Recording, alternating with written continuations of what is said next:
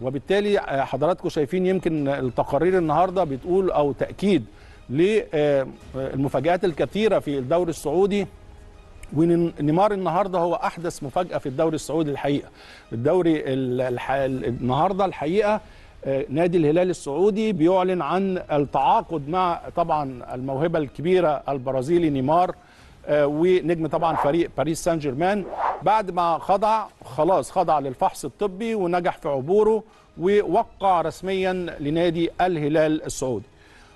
طبعا الكشف في الساعات الأخيرة اللي فاتت إن باريس سان جيرمان تقريبا تقريبا حصل على 100 مليون يورو مقابل الصفقة. نيمار هيحصل على راتب سنوي ب 80 مليون يورو. ده تقريبا تقريبا ضعف اللي كان بيحصل عليه مع باريس سان جيرمان. هياخد في السنتين حوالي 160 مليون يورو.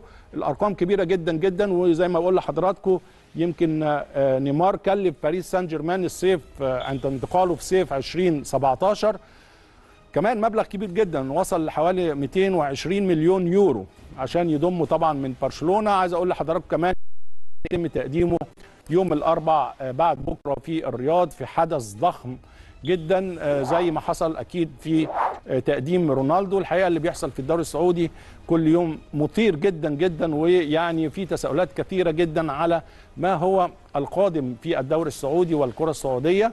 هنتكلم زي ما قلت لحضراتكم بالتفصيل النهارده معانا نجمنا محمد البرومي هنتكلم في هذا الملف.